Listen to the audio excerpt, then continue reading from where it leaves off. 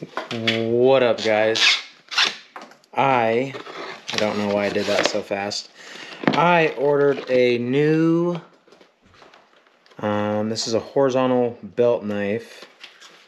I don't know if you can wear it straight up and down either, vertical, but I ordered this and I figured I'd show you guys what it is. I like to wear my knives horizontal on the back of my pants on the back of my belt.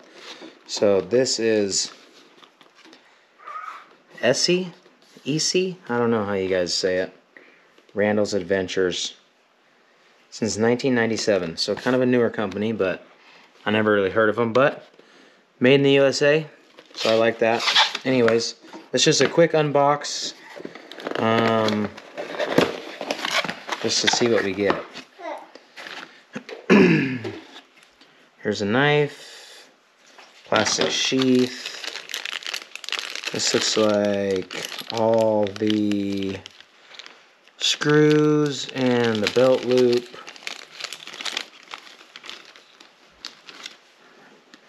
So it's plastic and metal, but the metal belt clip, the metal belt clip, this is metal.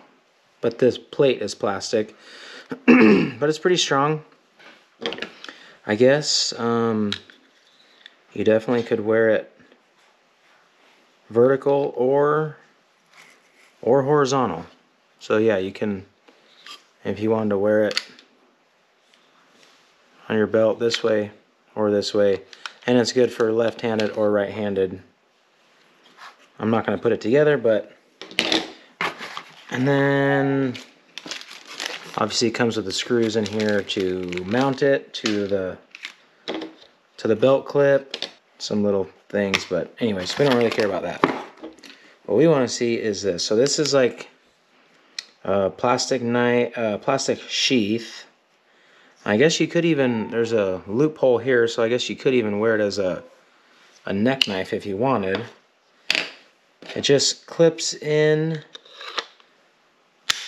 the sheath it is pretty secure. so this is what it looks like. It's got a big hole down here.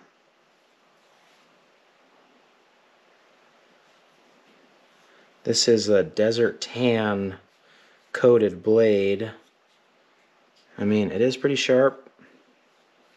And it's got a nice handle. It's nice and thin. I got it because it was thin and I believe it's about six inches overall roughly. And it should it's nice and compact and it'll I'll be able to wear it on my back of my belt pretty easily. But it's got good weight. It's got good grip. Fits nice in the hands.